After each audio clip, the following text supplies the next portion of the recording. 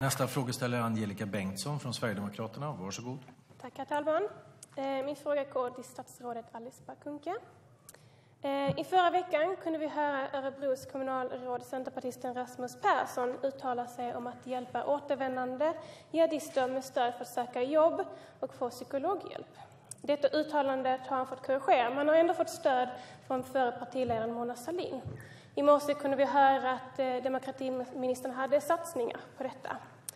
Eh, min fråga är, är det regeringens mening att återvändande jihadister eh, ska tillgå skatteberättigande arbetsmarknadsåtgärder istället för att straffas för de brott som de begår? Och anser ministern, och vad anser ministern om att svenskar åker ner och krigar med IS? Tack. Tack. Kultur och demokratiminister Alice Bah Kuhnke, varsågod. Tack, herr talman. Tack för frågan, Angelica Bengtsson. Arbetet mot eh, våldsbejakande extremism är en oerhört eh, viktig fråga och som ju aktualiserats eh, just nu i vår samtid här i Sverige och runt om i Europa.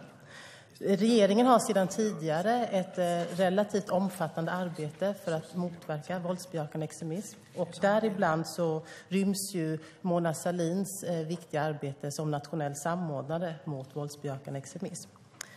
Eh, vi kommer nu att förstärka hennes uppdrag med tilläggsdirektiv just för att eh, försäkra oss om att eh, vi har så gott förebyggande arbete som möjligt. Det är ju väldigt, väldigt svårt att, att skydda sig mot eh, våldsbejakande extremism.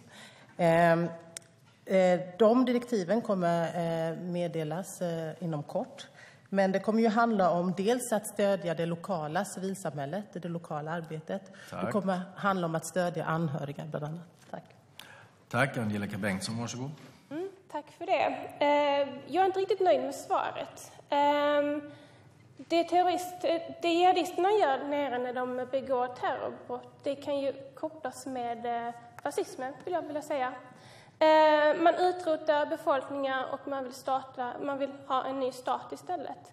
Eh, vad är åtgärderna konkret? Tack. Tack. Kultur och demokratiministern, varsågod. Tack, herr talman. Tack, Angelica Bengtsson.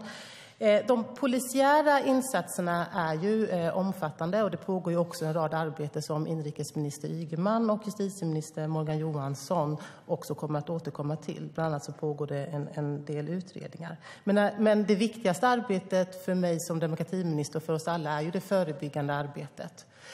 Och det är också arbetet med att lokalt arbeta med till exempel med återvändare från eh, eh, länder där det bedrivs eh, väpnade konflikter. Och det arbetet har pågått. Vi stärker det arbetet. Och eh, de mer polisiära uppgifterna får jag be dig att vända dig till eh, inrikesminister Ygeman om.